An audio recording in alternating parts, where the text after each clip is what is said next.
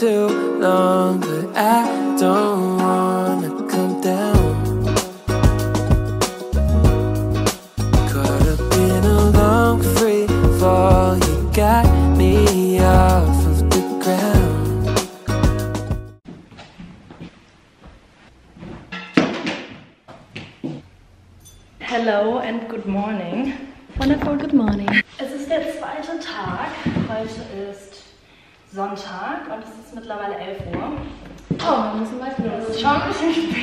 nein, wir haben ja alle Zeit. Ja. Außerdem ist die Sonne noch gar nicht draußen. Und wir machen jetzt erstmal ein paar Pics. Ja, Ja. ist der Plan. Und dann geht's weiter, dann holen wir uns erstmal irgendwo was zu essen oder so und schauen mal, weil sonst verhungern die hier. Dann gehen wir auf den Flohmarkt Stimmt, ich habe schon wieder unseren Plan vergessen. und dann probiert Kara das erste Mal Matcha in Ja. ihrem Leben. Und dafür gehen wir extra zu einem Café, die nur gefühlt nur Matcha machen. So. Das wird geil. Ich freue mich drauf, weil irgendwie hat sich das bisher noch nie ergeben. Weil wenn ich so die Wahl hatte, habe ich einfach kein Matcha genommen. Voll geil, oder? Ja. Und, aber okay, bis das Video online ist, ist es eh schon zu spät. Aber eventuell drehen wir ein Q&A. Aber keine Ahnung, wann wir das dann machen, müssen wir mal schauen. Vielleicht morgen. Ja, Oder vielleicht heute Abend, wenn wir so bevor wir feiern gehen. drunk Q&A. das wird ein bisschen spicy wahrscheinlich. Jetzt werden Fotos gemacht. Super.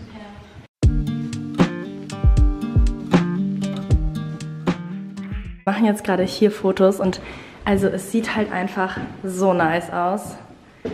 Meine Kamera, doch jetzt belichtet sie. Hui. Wir können einen Outfit-Check machen. Oh ja, machen wir mal. Ähm, sollen wir dafür die Kamera aufstellen? Ja, ich weiß aber noch gar nicht. Ja. Also Schuhe sind Mhm. Hose, ASOS, glaube ich. Fängt schon mal gut an. Shirt ist Zara, einfach so basic Ding. Weil Leute, ihr dürft nicht, ich rede so normal nicht. Ich mache es extra für die Kamera, das ist Jacke ist von Naked. Ja, wir Ich hätten. das versteht man. Ja, versteht man. Also ich verstehe es auf jeden Fall. Jacke ist von Naked. Tasche ist Valentino. Das Oh. war's, glaube ich, oder? Ja, ich glaube, das war's. Und Schmuck, ach, von überall. Ich weiß es nicht. Ja, ist bei mir auch immer so. Sehr cool. We like, oder? Also ich finde, ich würde dem Outfit eine 10 von 10 geben. Ist cool. Danke. Aber Eva ist halt auch eine 10 von 10, ne? Uh. Let's go! Ich glaube, die kennen meine Outfits mittlerweile schon. Schuhe, okay, das ist neu, aber die, Die sind sehr geil. Die habe ich auch. Nur Ich mag die auch sehr. New Balance. Wie heißen die nochmal? C? Weiß ich nicht. 3002 TC oder so? Keine Ahnung. Okay. Ähm, Hose ist Naked. Sehr cool. Mag ich auch wirklich sehr. Ich habe nur ein bisschen Angst immer, dass ich sie dreckig mache. Sieht cool Und, aus. Ähm, T-Shirt ist von Peso. Shoutout Wow. an Torben. Es ist nicht seins, aber er hat es mir geschenkt. Wow. Finde ich sehr süß. Die Ohrringe sind auch von Naked. Sehr cool. Hm, Schmuck. Hm, keine Ahnung. Also die Uhr werde ich auch oft gefragt, die ist von Rosefield. Mhm. Das Armband ist von so einer Marke. Da weiß ich den Namen nicht, aber ich finde es richtig geil, weil hier steht Everything happens for a reason dran. Und das ist so wirklich mein Lieblingsspruch. Das ist von Pandora, aber das ist ehrlich gesagt ziemlich abgenutzt. Das trage ich auch schon seit zwei Jahren. Und der Rest, die Kette ist von Bruna. Das ist von, ja, keine Ahnung. Von überall. sicher, Aber auf jeden Fall coole Marken. Cool. You look good. Jetzt machen wir hier noch ein paar Pictures, ein paar Videos. Oh, du filmst die ganze Zeit mit. Und dann geht's ab in die City. Wir sind jetzt durch mit Bilder machen. Und, jetzt? gehen Wohin wir. gehen wir zuerst? Zum Flohmarkt? Oder? Nein, zuerst was. Ah, zuerst oder? essen, ja, Zuerst mein Zeit für. Brot, oder? Da können wir uns Ja. da was holen. Und dann gehen wir zum Flohmarkt. Und nach dem Flohmarkt gehen wir erstmal Matcha trinken. Ja, ich bin, ich bin echt sehr, sehr gespannt darauf. Brandenburger Tor. Oh Das ja. müssen wir heute auch noch. Ja, ja, Brandenburger Tor. Das wie die richtigen Touris. Ja, dann machen wir dann erstmal so ein Selfie. Ja, oh ja, das machen wir. Ihr seht gerade richtig süß aus zusammen. ähm, das ist der Vermieter von Das ist halt so verrückt, weil ich meine, wir sind ja gerade einfach bei ihm zu Hause und ich kannte ihn nicht mehr davor, als ich hergekommen bin. Ah, ihr seht aber gerade echt, ich mache ein Foto von euch. Stimmt, ihr seid gerade bei mir zu Hause eigentlich. Stimmt ja. Hallo, schaut mal süß. Wie crazy sind diese Türen bitte? Also die sind hier überall. Dieses Treppenhaus ist so schön. Ich zeige es euch jetzt gleich mal unten. Wir haben es jetzt auch mal geschafft, loszukommen. Und jetzt geht es erstmal gleich zur Zeit für Brot. Obwohl wir einen in Frankfurt haben, war ich da noch nie. Wie schön ist das hier bitte? Wir sind jetzt bei Zeit für Brot. Wir haben einmal hier so ein ähm, weiße Schokolade Himbeer. Dann haben wir jeder so ein Brot. Das wir haben vertauscht. Hm? Das ist meistens deins, glaube ich. Ah, okay. Oder haben wir das... Ah, nee. Was hast du genommen? Geil. Sieht sehr nice aus. Wir sitzen hier einfach in der Sonne. Also, wie viel Glück habe ich bitte, dass ich ein sonniges Berlin habe? Du hast wirklich viel Glück, weil sonst ist hier immer schlechtes Wetter. Ja, wir hatten gestern Sonne, heute Sonne. Es ist ein Traum. Okay, ich habe gerade schon mein Brot leer gegessen und es war wirklich, es war sehr, Delicious. sehr nice. Hatte das mit Ofengemüse. Gibt es ja in jeder Stadt die gleichen? Ich glaube. Okay, war auf jeden Fall sehr lecker. Der ist auch mega gut. Aber diese Zimtschnecke, also ich habe die mit ähm, weißer Schokolade und Himbeer. Die ist so krass. Was gibst du der Zimtschnecke? Schon eine 10 von 10, oder? Das ist eine 10 von 10. Also ich habe die normale. Ich probiere die jetzt auch mal. Ja. Normal, also die sind alle geil. Ich finde die echt.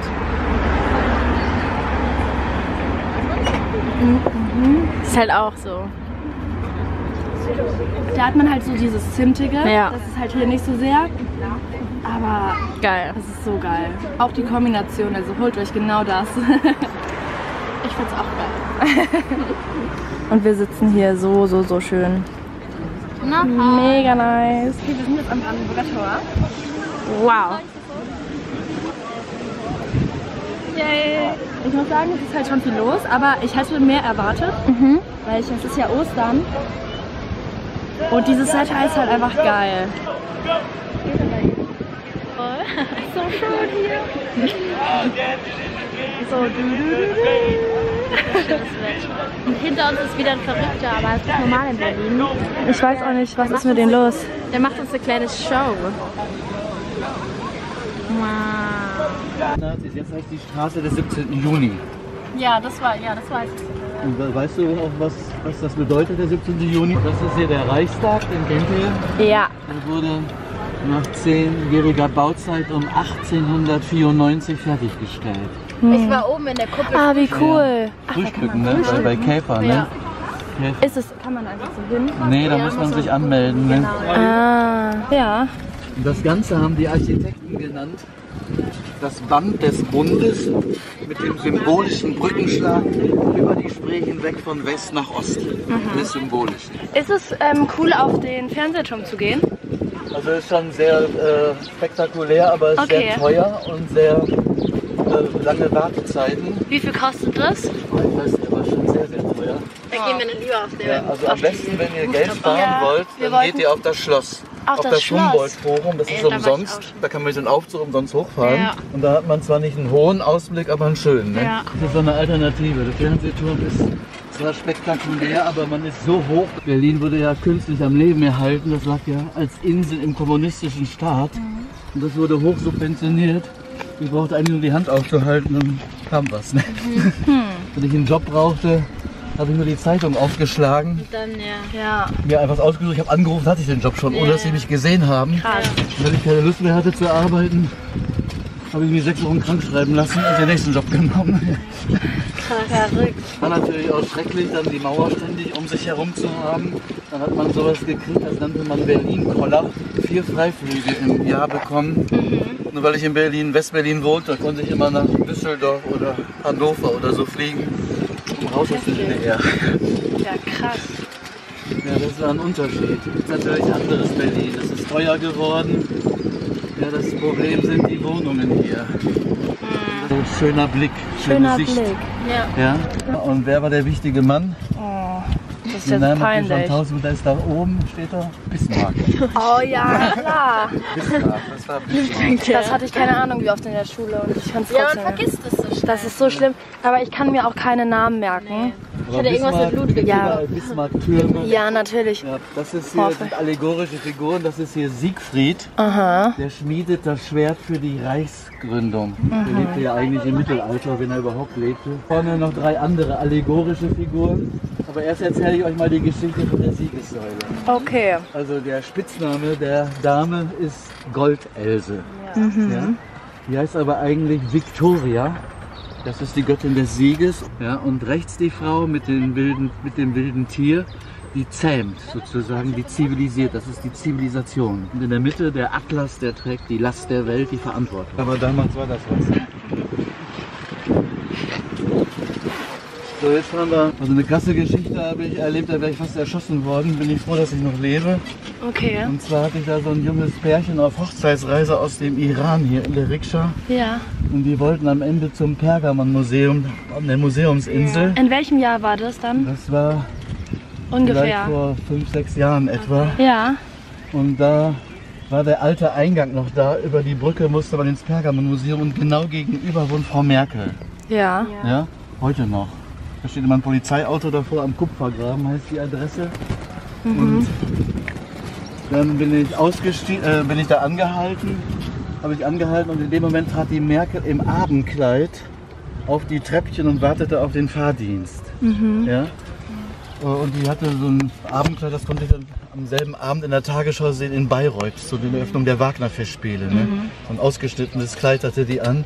Und ich sage meinen Fahrgästen, das ist unsere Bundeskanzlerin und der junge Mann, sehr arabisch aussehend, sprang aus der Rikscha mit so einer Videokamera so dicht auf die Merkel zu.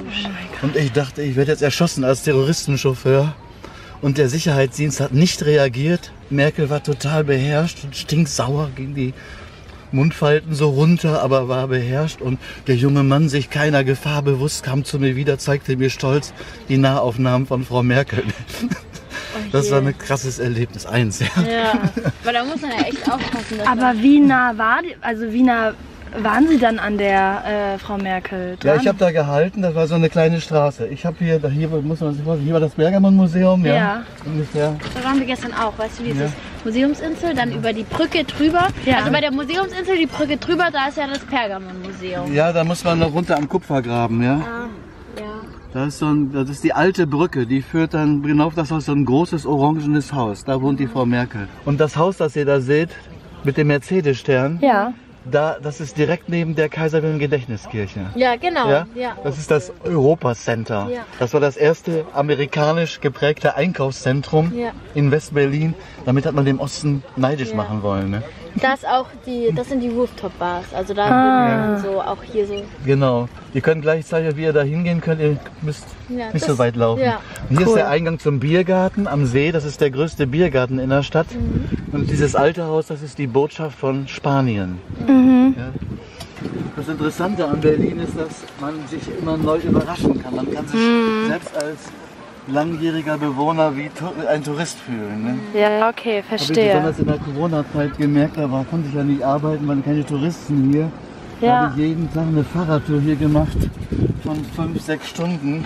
Ach krass. Immer wieder neue oder Plätze besucht, die ich schon 10, 20, 30, 40 Jahre nicht mehr gesehen hatte. Ja. Ja. Das ist das Spannende. Ja, Man entdeckt immer was Neues. Genau. Und ich mache das sowieso, ich fahre nie immer die, nach Möglichkeit dieselben Strecken. Wir haben gerade unsere schöne Tour gemacht. Und es war einfach, wir hatten so Glück mit unserem Fahrer, weil er einfach so viel Wissen hatte. Und jetzt sind wir. Welcher Flohmarkt ist das? Ähm, weiß ich nicht. Aber das ist hier Charlottenburg am Zoo in der Nähe. Genau. Äh, ja. Also man erkennt es ja auch einfach daran. Okay, da vorne ist, okay, da ganz hinten ist Telekom-Gebäude, aber da hat man so einen Blick drauf. Und ja, jetzt schauen wir ein bisschen. Oh, guck mal. Cool. Ein bisschen dreckig.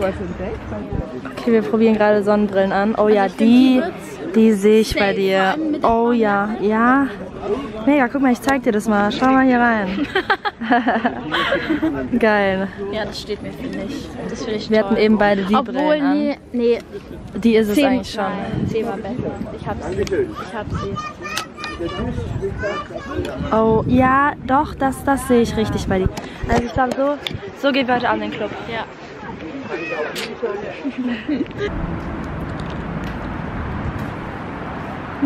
Wir sind jetzt gerade in Berlin Mitte, glaube ich zumindest. Und wir gehen jetzt in diesen Matcha-Laden. Eva will mir Matcha zeigen. Und jetzt. So, jetzt führe mich mal in die Welt des Matcha. Jetzt probieren wir das erstmal Matcha. Wir sind jetzt extra eine halbe Stunde hier. Ja, wir sind wirklich eine halbe Stunde her gefahren. Oh. Wir haben jetzt beide, also ja, es hat jetzt wirklich nicht mehr so viel mit Matcha zu tun, hat Eva gerade auch schon gesagt. Aber mal schauen. Ich glaube, sie hat sich, ja genau, der heißt Summertime Forever Matcha. Wir sind hier gerade bei Matcha Sam, falls euch das interessiert. Und ich habe den genommen mit Dragon Fruit, nee, Pink Dragon Matcha. Yes. Okay, ich muss jetzt einen Taste-Test machen, ne? Jetzt habe ich es halt wirklich voll vermischt. Ja. Schmeckt ganz geil. Hi Eva. Vier Kilometer. Ja, Matcha. Das muss Friedrich sein. Das ist ganz geil. Ja. Also, Francisco hat uns jetzt auch noch besucht. Wie fandest du deinen Matcha? Ja, Matcha ist sehr, sehr gut. Ja, ne? Wir waren auch sehr happy mit dem Matcha. Jetzt überlegen wir gerade, wo wir essen gehen. Ich bin für asiatisch. Hört man eigentlich ohne Mikrofon? Du hast ja gar kein Mikrofon. Ja, ich mache das immer so. Echt? Okay. Ja, also manchmal fasse ich halt auch dumm aufs Mikro, aber das liegt halt eher an mir.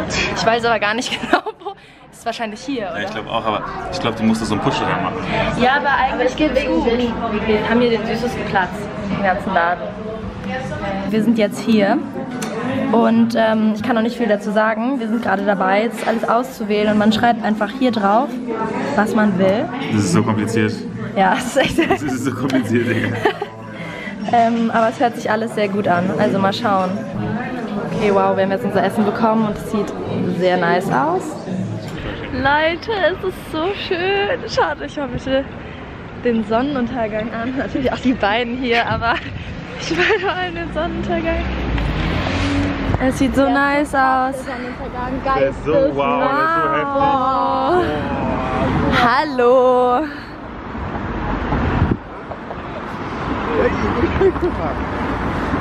Boah, ich finde, ich sehe gerade so fertig aus. Ähm, aber ich wollte euch nochmal kurz updaten und ein kurzer Reality-Check. Boah, ich sehe wirklich. Ich weiß nicht, ob das gerade am Licht liegt, aber ich finde, ich sehe so blass aus. Es ist jetzt halb eins und eigentlich wollten wir ja heute richtig nice feiern gehen. Ähm, aber bei mir wurden meine Halsschmerzen irgendwie wieder dann schlechter, weil wir reden halt auch einfach hier sehr viel miteinander, was jetzt nicht unbedingt gut für meinen Hals ist. Mm, Aber wir trinken trotzdem sehr viel Tee und wir versuchen trotzdem so uns immer wieder auch Pausen zu nehmen und es wäre einfach, also ich hatte, wir hatten beide an sich halt mega Lust, aber die Halsschmerzen, es war dann klar, dass wir es nicht machen werden. Mm, Und es war auch jetzt die richtige Entscheidung, weil sonst hätte es mir morgen bestimmt nicht gut gegangen. Es ist halt einfach verrückt, auch dass wir jetzt beide Halsschmerzen haben und es war ja auch so, also das, ich habe sie ja nicht angesteckt, sie hat das ja schon bevor ich hierher kam. Wir haben beide so ein bisschen und bei ihr ist es jetzt auch schon fast schon weg. Also bei Eva, wenn ich ihr sage, keine Ahnung, ich bin gerade auch so ein bisschen verpeilt. Oder auch nicht verpeilt, aber ich stehe so ein bisschen neben mir. Aber deswegen ist es voll okay, aber es ist einfach natürlich ein bisschen sad, weil wir vor allem theoretisch heute bei so einem niceen Club standen wir jetzt auf der Gästeliste und wir wären da einfach reingekommen und es ja schon sehr cool gewesen, aber it's okay. Ich versuche mir in so Momenten immer zu denken, dass alles aus dem Grund passiert und natürlich ist es jetzt nichts Schlimmes, aber natürlich wäre es cool gewesen, so nur dass man das verstehen kann. Ja, genau. Und jetzt sitze ich hier gerade noch auf der Couch. Eva war bis eben auch noch da. Aber wir dachten jetzt vielleicht auch mal ganz gut, dass wir uns ausruhen und schlafen. Und ja, dann geht's morgen weiter. Und ich finde es hier wirklich, es ist einfach so, so, so schön. Diese Wohnung ist so ein Traum. Und ich habe einfach dieses ganze Zimmer jetzt gerade für mich und theoretisch auch das und das. Die sind ja beide leer. Das ist so verrückt. Und ich habe hier auch gestern richtig gut geschlafen, auch wenn das nur eine Couch ist. Deswegen bis morgen und gute Nacht.